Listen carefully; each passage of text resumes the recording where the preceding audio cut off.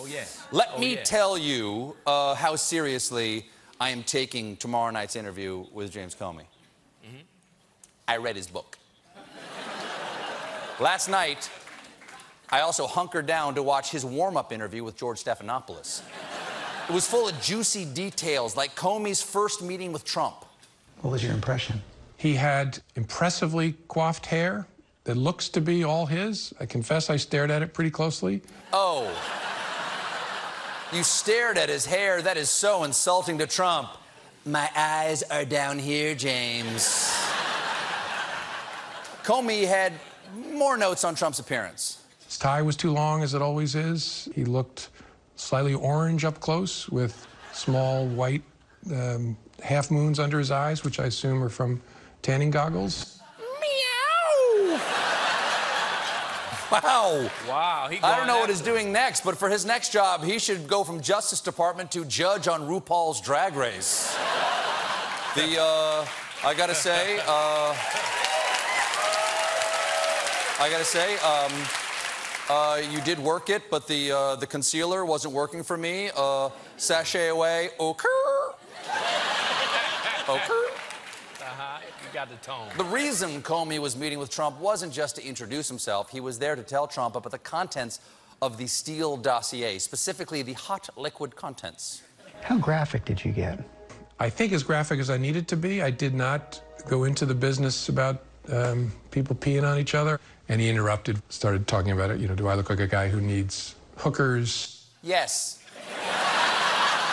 yes, you do. Yeah.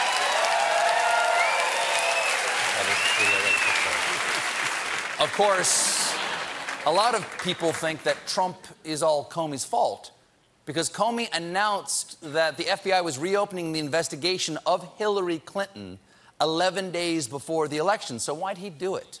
Because I was operating in a world where Hillary Clinton was going to beat Donald Trump.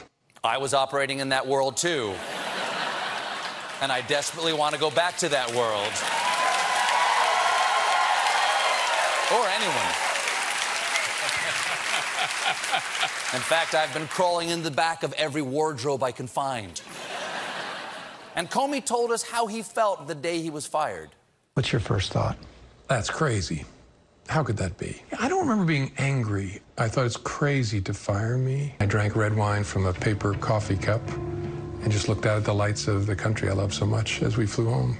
This red wine in a paper coffee cup, also known as the middle school teacher special.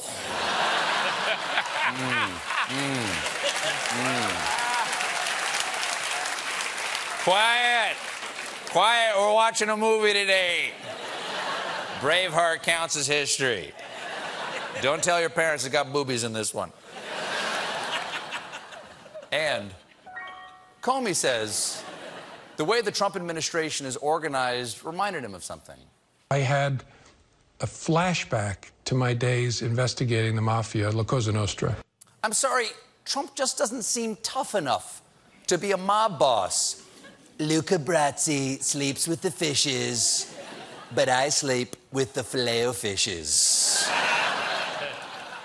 but like La Cosa Nostra, Trump has appointed family members to key positions. But unlike the mafia, none of his relatives are competent. It's all explained in the new movie, Godfather 4 Oops, All Fredos. Good.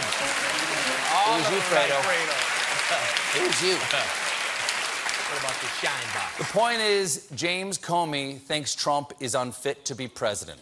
So he must support impeachment, right? Wrong.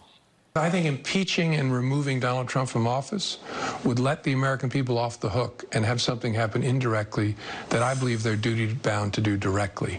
People in this country need to stand up and go to the voting booth and vote their values. And so impeachment, in a way, would short circuit that. You hear that, America? James Comey thinks we deserve three more years of Donald Trump.